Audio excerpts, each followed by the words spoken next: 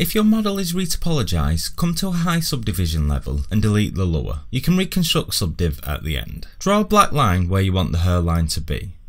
Now draw a grid of squares within the hairline, and there's a trade-off with this. The smaller the squares, the more control you will have, but also the longer the grooming process will take. When you're ready, come to Z plugin, PolyGroupIt, polygroup it from paint borderless. We now have a grid of polygroups. Hide the face and grow the selection using Ctrl Shift X until all of the black border is visible and fill it with the skin colour to get rid of it. Mask the grid and come to FiberMesh Preview and play with the settings to your liking. If you come to Document Anti-Aliased Half, you get a cleaner view of the fibres. When you're ready, hit accept and notice how the hair is now in polygroups. Come to brush, auto masking and turn mask by polygroups up to 100. You can now use your grooming tools to manipulate each section of our original grid individually, allowing for greater control. If you enjoyed this t- oh crap.